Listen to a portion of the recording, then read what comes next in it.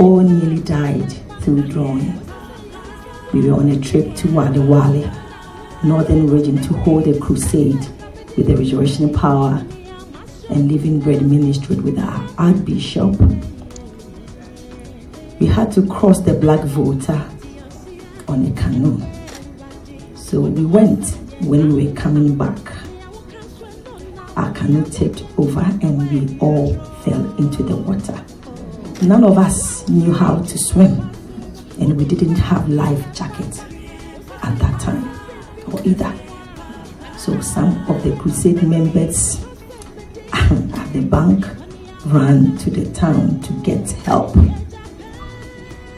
By the time they returned, the current had separated me from others. I went in and out of the water at least six times, swallowed enough water till my belly was full of icy cold black water.